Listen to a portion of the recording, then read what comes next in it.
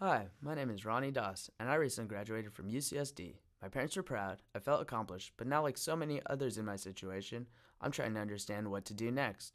I'm interested in the environment and green policy, but it's hard to determine what's actually useful and what's just a marketing scheme. So I went out to learn from the ground up what local San Diego businesses, industries, farms, and nonprofit groups are doing to make a difference by educating, implementing, or currently using green and sustainable practices. So sit back, relax, and welcome to How Can I Help?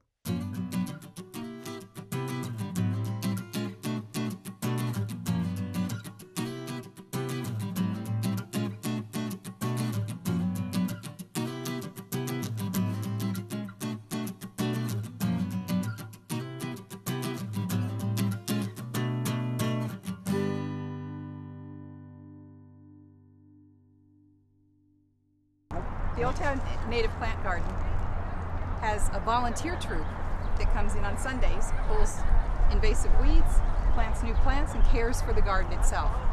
The key player in that is Peter St. Clair. We'd like to introduce you to him now. Oh, great.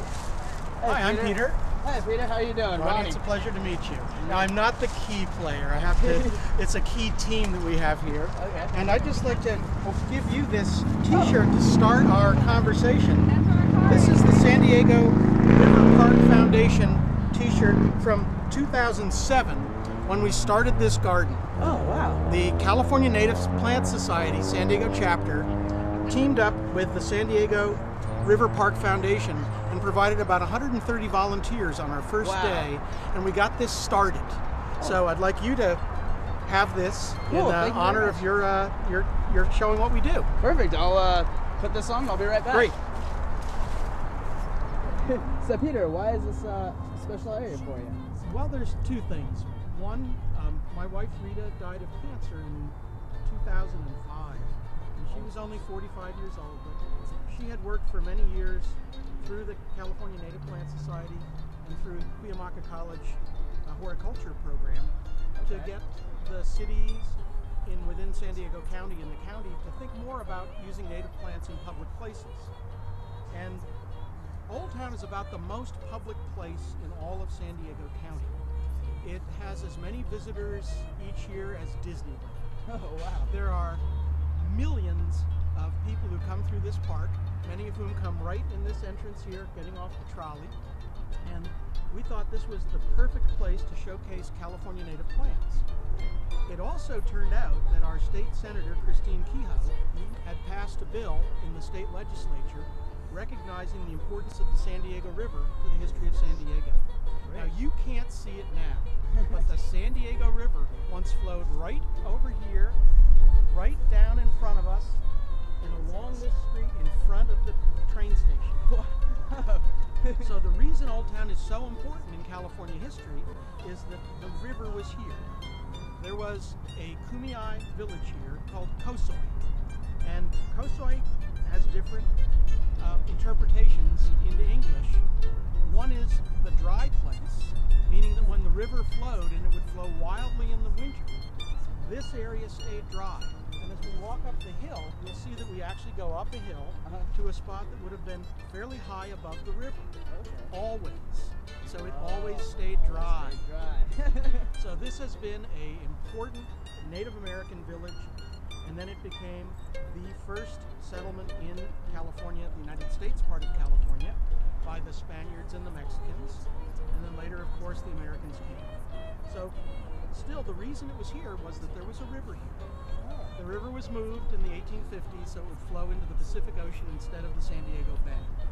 But Senator Kehoe's bill, recognizing the importance of this place, wanted to focus on its history, including its native peoples, its geography, including the river, okay. and its native plants.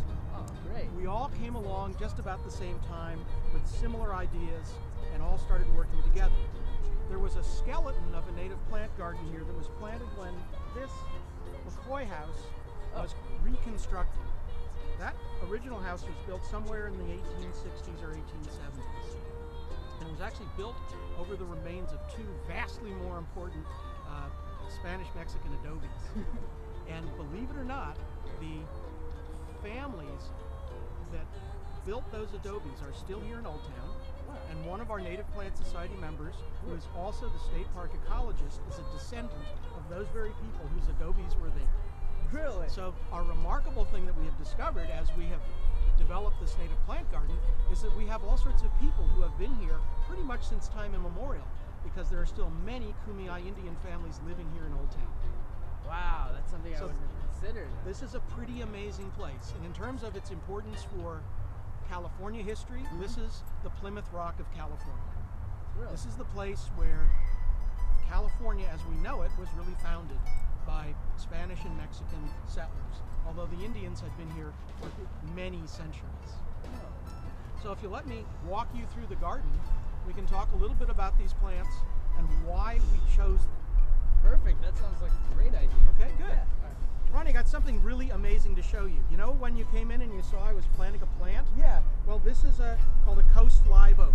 Coast and in live. Latin, for all these people, this is Quercus agrifolia. Um, that'll help the Native Plant Society members truly identify it. Now, we mentioned before that the plants here were of supreme importance to the Kumeyaay Indians. yeah. And the coast live oak is perhaps the most important food plant for the Kumeyaay. Really? And now I noticed just an amazing thing today that I had not seen before. If you can look down here, these are seedlings of coast live oaks, and they're coming up from acorns that fell from this tree. Oh, okay. Now, you can see there's the beginning of a little flower here. Um, here we go. This is a this is the flower of a coast live oak, and that Wow. flower, if it's pollinated and everything goes well, will turn into an acorn. Okay. And the, here's an acorn left Oh. over from last year. Here we go. That's kind of a little one, but that's a coast live oak acorn. Now the the California Indians cracked the shell of this and then took out the, the center.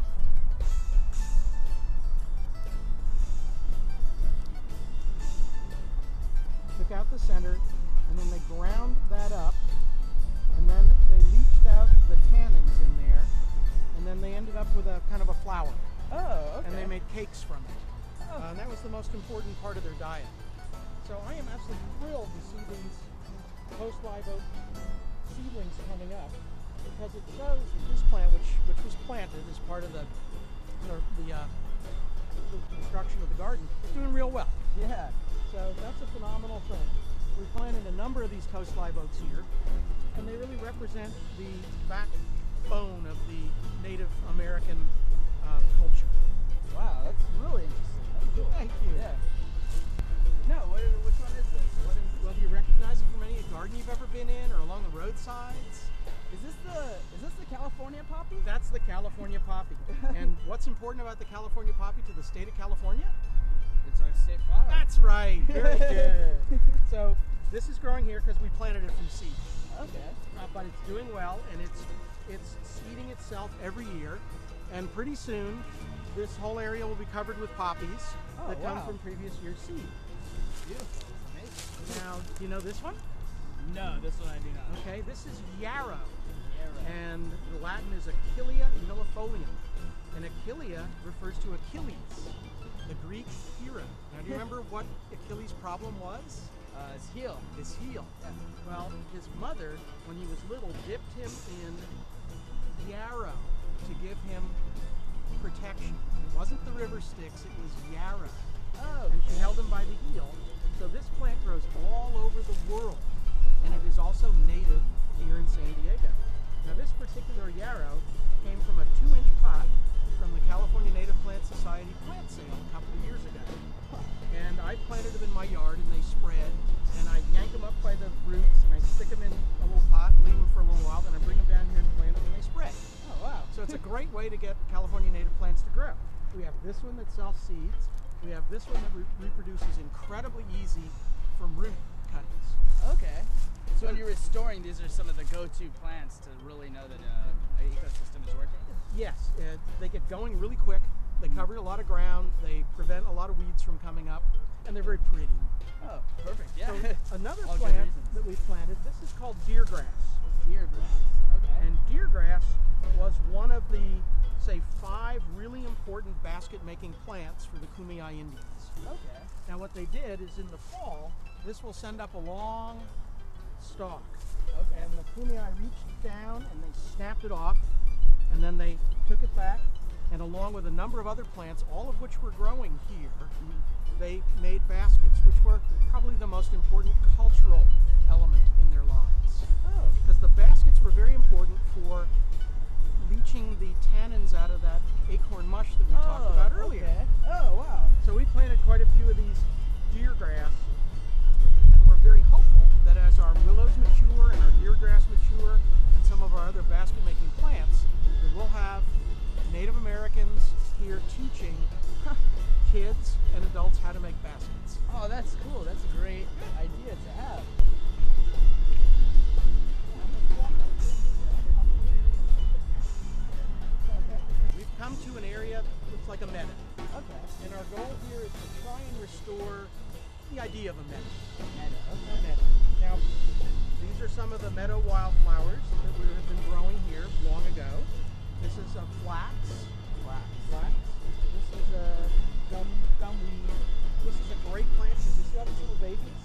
Are all gumweeds. Oh wow. And they're out competing the other weeds. now, when we say weed, it's a native plant, so oh, it's okay. doing Not fine. too bad. Yeah.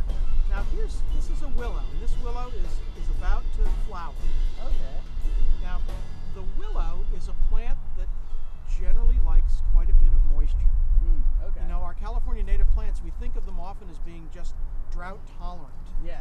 Well, many are not. Many of our California native plants actually lived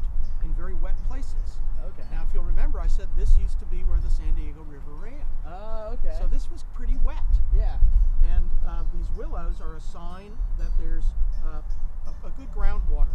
Okay. Now, the other signs of that is we have in the background, we'll, we'll get a little farther, we have cottonwood trees, okay. and we have these um, sycamore trees here. sycamore. So our trees. willows, our cottonwood, here's our cottonwood right here. Oh, okay. Perfect. Okay? So our willow, our cottonwood, and our sycamore are sort of our indicators that this was a river area. Okay. Okay? So Ronnie, I'd like to tell you a little bit about more about why we selected certain plants for this garden. We talked about how important they were to the Kumeyaay Indians. Yep. Well, we also wanted to get plants that actually grew here a long time ago. Uh, and want to make sure they're native plants and that they were native here before people started gardening with them. okay. So we had a pollen study from the University of San Diego.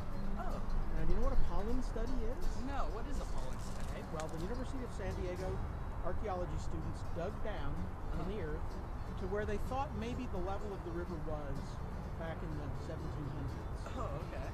And they then took that soil back and they kind of washed it and filtered it, and they found little grains of pollen. Pollen Oh. are what flowers make um, in order to reproduce. Okay. Uh, before you can have a seed, you have to have pollen, and the pollen is pollinated by Okay. an insect or a butterfly or a, something like that. So the pollen study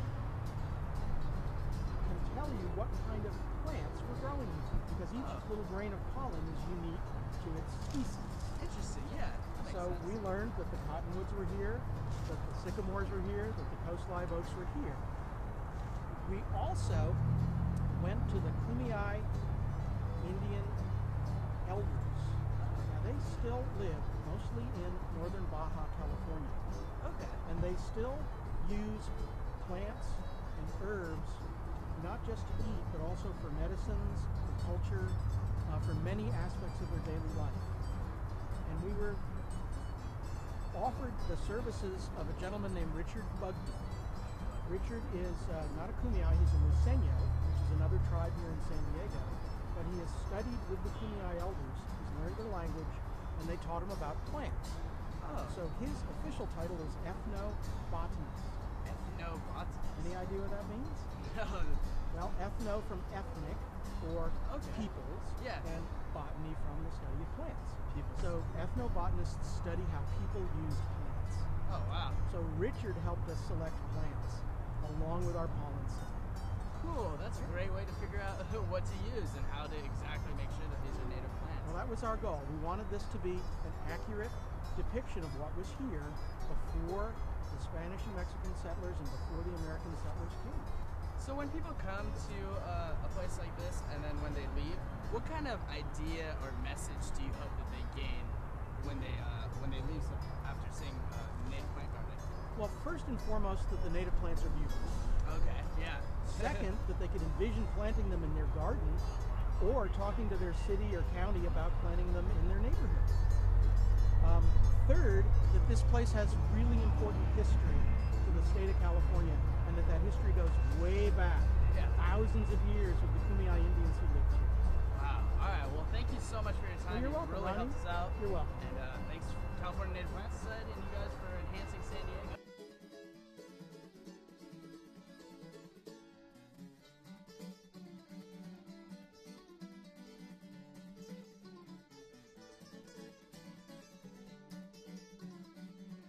To find out more about all our wonderful guests or to get some information about this issue, be sure to log on to www.howcanihelpsandiego.com. See you there, Eco Diego fans.